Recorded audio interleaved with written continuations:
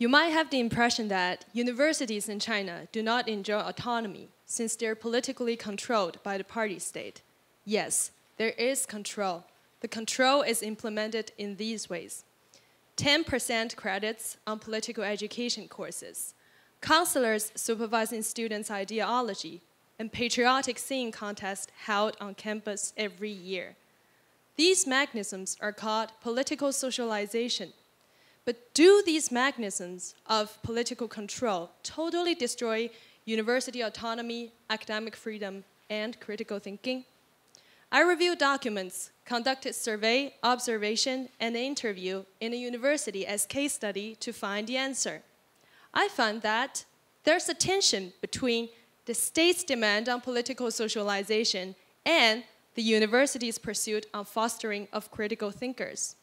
My research revealed that to manage this tension, university, staff, and students, they interacted with each other and formed a strategy of role split.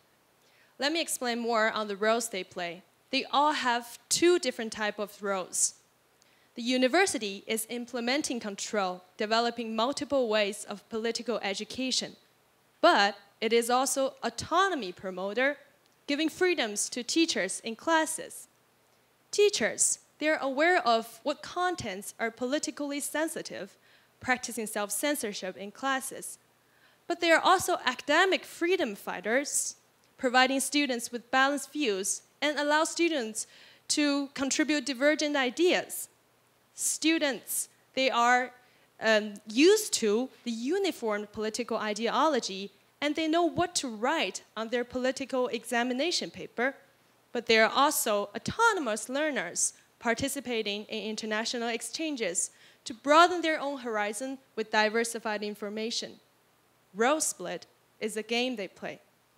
So the scenario is like this. Contrasting performances coexist in Chinese higher education. The university sets up College of Marxism and Center for Innovation at the same time. Teachers cover their severe criticisms towards Chinese government with ironic metaphors. Students, they apply to join the Communist Party, but they might also read officially banned academic books.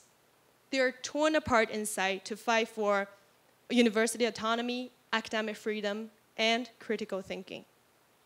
You might not see violence, but people are wrestling, and it is a real fight. Thank you.